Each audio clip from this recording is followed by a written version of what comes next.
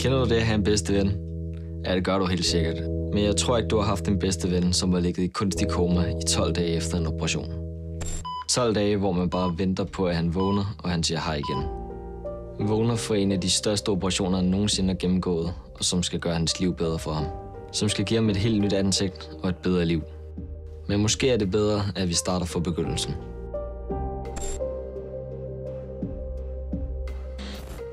Måske kender du os allerede.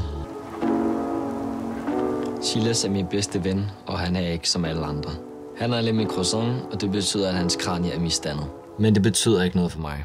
I dag er ligesom sidste dag sammen med Silas, hvor han ser sådan ud, som han gør.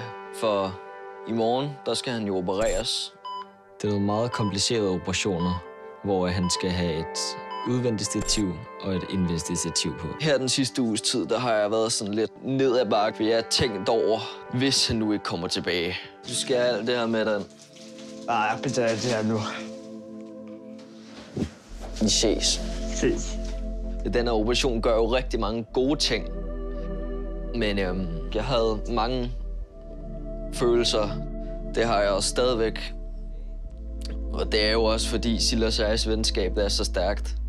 Det vil ikke være fedt for mig, hverken for mig eller nogen andre, at Silas han, øh, ikke skulle komme tilbage.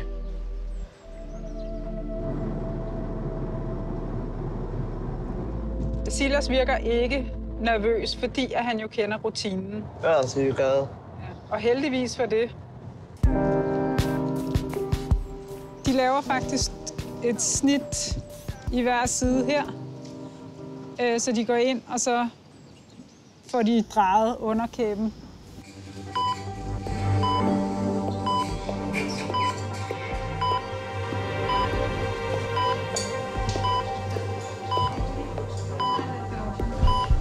Operationen er gået godt, men Silas' luftrør er så hævet, at han ikke kan trække vejret selv. Lægene holder Silas i medicinsk koma i 12 dage. 12 dage, hvor jeg ikke ved, hvad der sker med Silas. Men Silas vågner op, og jeg ved ikke, om jeg nogensinde har været så glad før. Silas får fjernet det ydre stativ.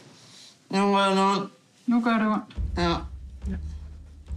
Nu må du sige, hvor det er, det gør ondt, skal. Og i hovedet. Ja, Ja, bare fordi jeg holder to. Ja, det er så flot.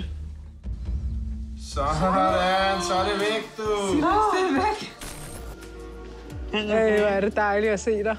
Mm-hmm. Uden, uden noget udstyr på.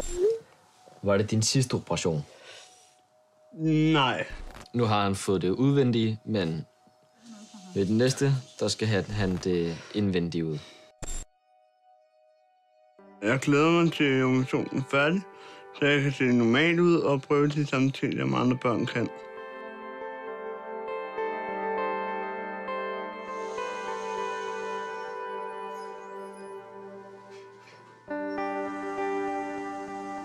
Kan du mærke, at folk kigger mindre på dig efter operationen?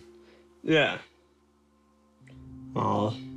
Du får ikke nogen grimme bemærkninger, eller mm. nogen, der laver nogle dumme grimasser. Nej, ikke så meget nu. Silas, sidste gang du var her, Ja.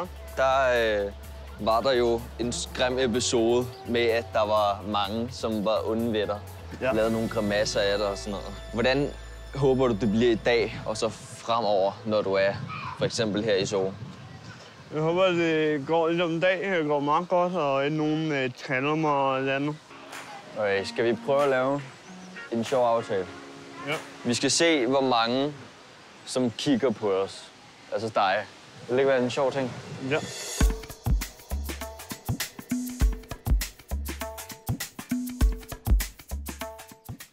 Godt. Jeg har fundet dig. Ja, i lige måde. Men der er ikke rigtig nogen, der kigger. Nej. Det ved Det kunne være, efter operationen, du har haft, så har der jo sket rigtig meget udseendsmæssigt. Det er meget med musik Mm. og det hele. Og det er nu er min dagligdag er blevet bedre nu. Ja.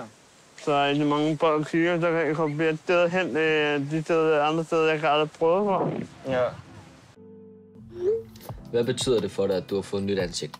Ligesom en ny mig og en ny, øh, en ny optagelse, øh, en ny film. Og det er bare et nyt liv.